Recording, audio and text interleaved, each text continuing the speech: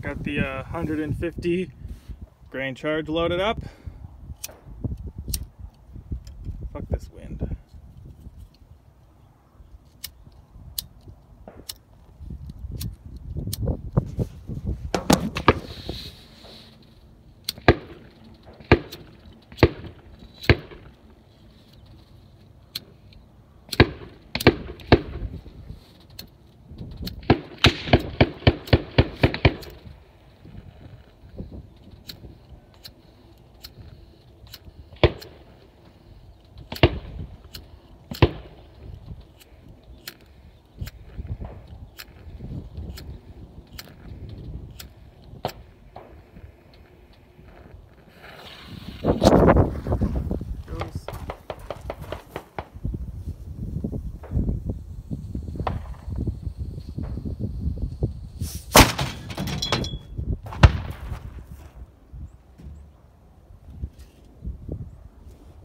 Well.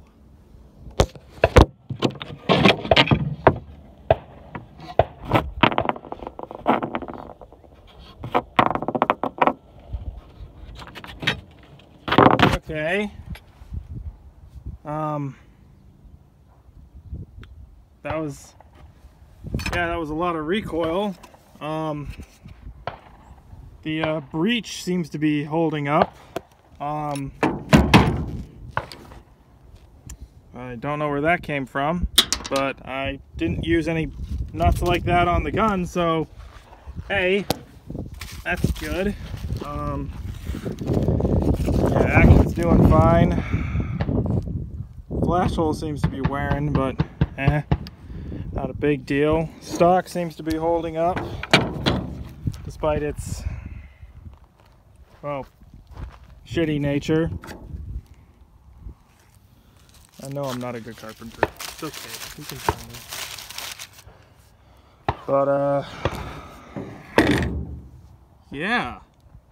That fucking worked, man.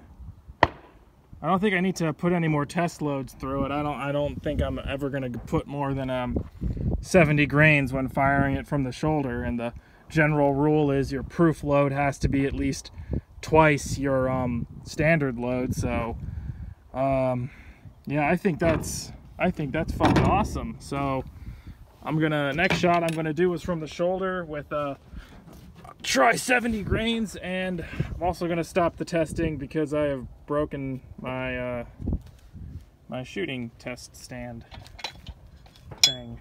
Fuck. I'll just make another one out of leather. Alright.